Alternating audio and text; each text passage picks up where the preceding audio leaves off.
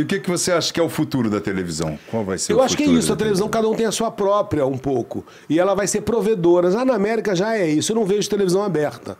E a televisão ela é um circuito fechado para mim. Então eu plugo o que eu quero assistir. Se eu quero assistir Verdades Secretas, eu quis, estava em Nova York. Eu sou amigo do Valcidas, aquele povo queria. Acho o Valci um, um cara citado, adoro o trabalho dele. Carrasco. É, carrasco, É, Carrasco. maluco, adoro ele. Gente boa, E aí né? lá em Nova York eu fui bem atrás demais. do Verdades Secretas. Eu acho que nem foi tanto sucesso aqui no Brasil. Não, é, teve a primeira Mas foi tinha no- um no- toque de um autor. Quer dizer, eu vou atrás de autores. A menina Eu como- saiu, teve a menina saiu Eu no meio não da, sei da do, novela. do, do, do, Você viu isso, que saiu do meio da do- novela? Dos, Eu dos também não acontecimentos eu não sei. Mas eu, eu tô sempre ligado na televisão brasileira, tudo que é up to date.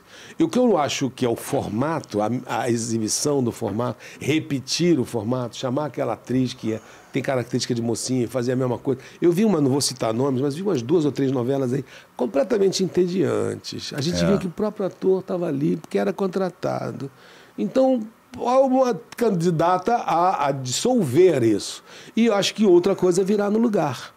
Né? Vai- isso aqui, por exemplo, é surgir? um papo que virá no lugar é. do, do jornalismo careta, que sempre existiu. É, não, é um- Ou do vídeo show, que durante tanto tempo foi up to date, porque falava de ser humano, falava de atores, falava de bastidores. Eu acho que todos os caminhos estão abertos. Eu sou muito esperançoso Aí- com a nossa época. A internet mud- mudou tudo, né? Tudo. Ela, ela fez. Graças a Deus.